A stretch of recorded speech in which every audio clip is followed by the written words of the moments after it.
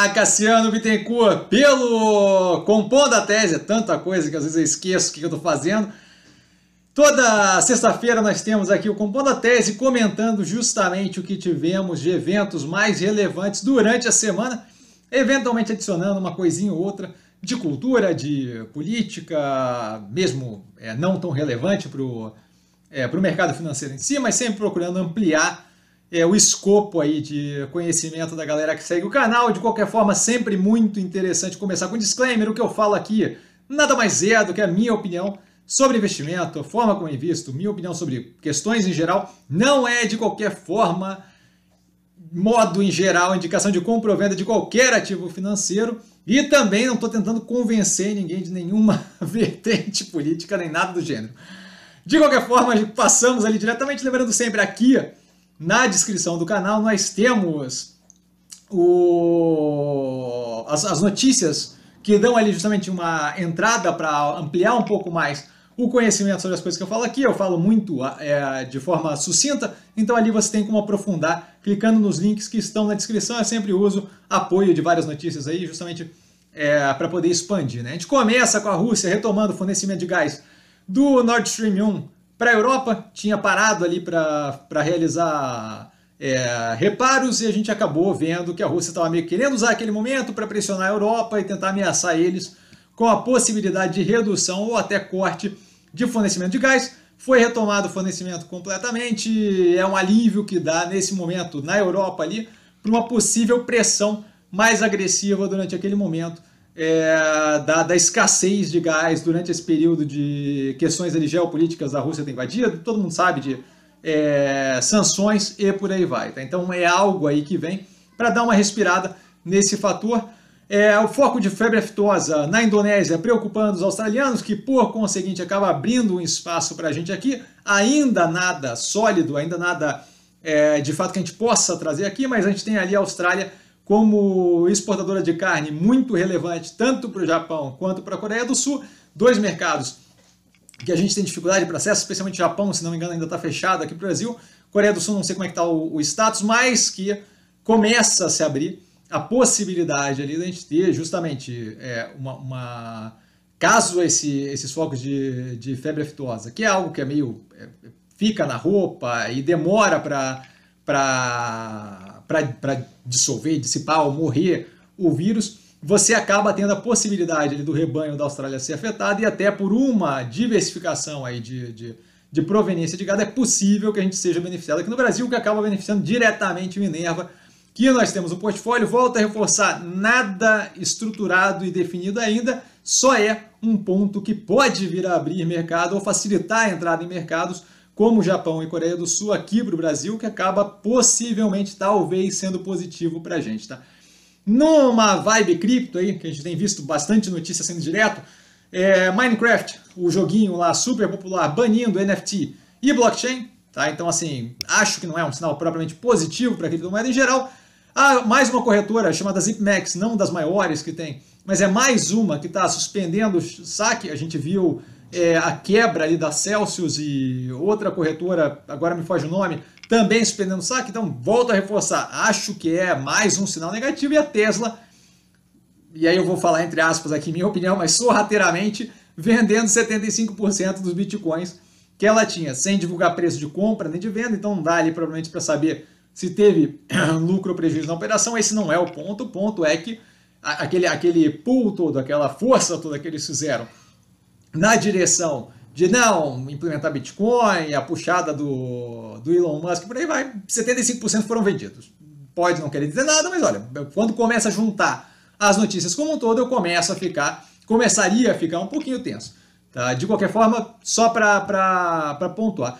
E aí a gente teve o evento no começo da semana do Bolsonaro, o executivo atual, é, com os embaixadores, falando da urna eletrônica, por aí vai, numa sequência nós tivemos mais de 60 entidades, como incluindo né, a Associação de Policiais da Polícia Federal, tá, defendendo ali a idoneidade e a falta de, de, de, de, evidência qualquer de fraude eleitoral. Tá? Então, assim, é importante para a existência do, do, do sistema democrático, que fique bem claro, pela enésima vez, não é como se faltasse informação sobre isso, tá? que não tem qualquer evidência de fraude eleitoral com as urnas eletrônicas, at nenhuma. Isso não falta documentação e ficar repetindo essa balela não colabora em nada e não torna ela uma verdade. Tá? Então, assim, é, não é como se faltasse informação. No final aqui eu vou botar mais um podcast ali que, novamente, esmiuça, tintim por tintim, com auxílio de um jurista, o Mairovich, um jurista conhecido, ponto a ponto, não falta informação sobre isso. Assim, é, é, é o tipo de coisa que só gera mais instabilidade política no país. Tá? É, passando para os ativos que não estão no portfólio, a Anatel estudando desfazer a venda da Oi. Então, assim, não tem ainda clareza do que isso pode implicar e nem de qual é propriamente o, o estímulo ali, a vontade da Anatel de levar isso daqui aos, aos, aos finalmente. De qualquer forma, a gente tem aí mais um ponto de é, nublado e tensionado ali no que tange Oi, TIM, Claro e Vivo, se não me engano, que são as envolvidas nesse processo. Tá? Acho que vale a pena dar uma olhada e, e acompanhar. Né? A Embraer fazendo parceria com a, com a empresa britânica para IVE, né, para os carros voadores lá voltados à defesa. Tá? Então acho que é uma área ali que a gente sempre está acompanhando aqui, eu acho que é mais um, uma vertente aí que pode vir a abrir espaço para diversificação é, das operações da IVE, justamente a expansão daquele, daquele pedaço menor da operação da Embraer. Tá? E o Santander sendo condenado em segunda instância, se não me engano, tá? por uma ação civil no valor de 275 milhões. Ainda cabe recurso, mas olha, é o tipo de coisa que eu começaria a ficar tenso, dado que, se não me engano, foi em segunda instância. É, vale a pena dar uma olhada na matéria, eu dei uma olhada por cima, se não me engano, foi em segunda instância, o que, o que seria já o, o julgamento da, da, da, da, questão mesmo, da, da, de se foi ou não foi é, tido ali um, um, um, um ilícito, um problema ou algo a se Sinto muito, nós tivemos um pequeno corte aqui porque eu meti o pé do fio, então eu estou emendando o vídeo, é o mesmo vídeo, só de fato enfiei o pé num fio aqui que não deveria e acabou cortando o vídeo. De qualquer forma, voltando ali a Santander, é, eu ficaria um pouquinho tenso com o fato de já estar tá, aparentemente ele avançado o processo e é uma quantidade de 275 milhões de reais, não é uma quantidade propriamente irrisória. Passando para os ativos do portfólio, a gente tem a Minerva realizando o primeiro embarque de carne bovina in natura para o Canadá, o que é mais um mercado expansivo aí para a Minerva, não é nada boa, move montanhas, mas a gente vê a Minerva expandindo mais e mais o mercado.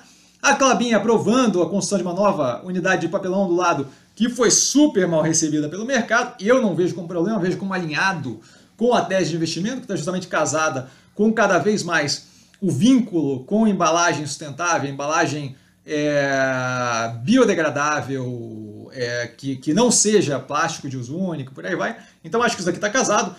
O momento, talvez, dado a construção da segunda máquina da Puma 2, não seja o mais light financeiramente, de pressão financeira, mas eu não vejo ela não conseguindo lidar com essa quantidade de projetos. Então, acho que é um movimento casado com a gestão. Confio na capacidade de gestão de avaliar isso e acho que é muito pouco provável, como colocou um seguidor meu do canal, muito pouco provável que eles consigam, o mercado consiga avaliar é, em, em 20 minutos de forma correta o que a equipe da Clabin passou com a galera toda técnica, a galera de finanças e do financeiro por aí vai, avaliando meses aí a possibilidade, a viabilidade econômica de fazer esse projeto. Então, assim, eu vejo como muito interessante, vejo como uma continuidade da tese na direção correta, não me incomoda. Tá? A Mills fazendo compra de uma operação chamada Triangle e liberando ali, é, é, conversando sobre mais compra de maquinário na direção de linha amarela, tá? que é trator, retroescavadeira, aqueles bobcats, esse tipo de coisa.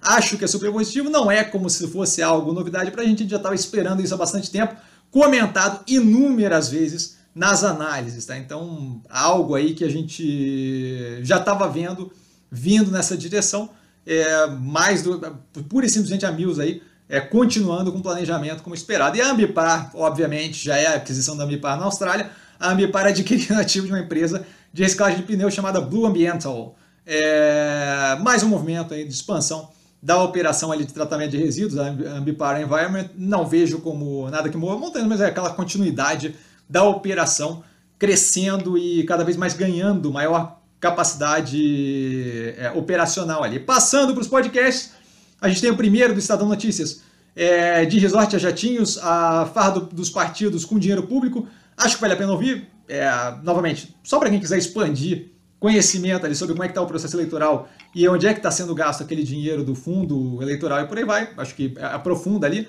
O tal podcast que eu comentei com a análise do Mairovich, é, que é o Walter Mairovich, que é um, um, jurista super conhecido, tá? Durante o programa da Vera Magalhães é, no Política da CBN, ele aprofunda aqui, para quem não compreendeu ainda, que não tem fundamentação é, a, a, a, propagação da informação de que tem fraude eleitoral, isso daqui explica tintim por tintim por que aquilo não faz sentido. Blá, blá. Então, para quem tiver interesse, não quiser fechar o olho, que, o olho que nem o, aquele, aqueles três macaquinhos, né, o do ouvido, da boca e do olho, é, e tiver interesse em de fato aprofundar, aqui tem bastante informação, não precisa ser aqui também, não é como se faltasse informação na internet, foi esmiuçado por tudo quanto é rede de informação possível. E por último, saindo dessa vertente, e eu acho assim, uma parte que eu achei bem interessante desse show, A Show About Animals, que fala sobre é, a, a, viabilidade efetiva da gente comprovar que animal fala ou não fala. Eles analisam a Coco, aquela gorila que é, tentaram que, entre aspas, né, e aí vale a pena ver o show, é, mas se comunicava por linguagem de sinal. E aí aqui a gente vê, eu acho que uma parte ali que chama bastante atenção, tirando a parte de ah, acompanhar e tal, como é que foi o processo de ensinar ela linguagem de sinal e por aí vai. Aqui eu acho que mostra bem claramente a diferença entre correlação e causalidade, certo? O fato dela conseguir gesticular coisas para a treinadora, é, o quanto aquilo ali estava casado ou não com uma metodologia científica efetiva que poderia é, justificar que de fato era causal e não pura e simplesmente correlacionado com outras coisas. Acho que é interessante o show, não precisa ver por esse ponto de vista chato que eu acabei de colocar, pura e simplesmente pelo fato de explicar ali em vários episódios como é que foi esse processo de lidar com gorila e ensinar a linguagem de sinal por aí vai. Essa parte é interessante, não precisa esmiuçar a parte mala que eu acabei, eu acabei de estragar o show aqui. Não precisa esmiuçar essa parte mala. Então por hoje eu fico por aqui. Tá, é... Domingo nós teremos movimentos da semana e preparem-se porque semana que vem eu tô vendo o inferno chegar, porque começa a temporada de balanço, eu vou trabalhar feito um cão, e aí sim a gente tem que estar, tá, estar tá zen durante todo esse período que vai ser tenso. Um beijo para todo mundo e até o movimento da semana, domingo. Valeu, galera. Beijão. Tchau, tchau.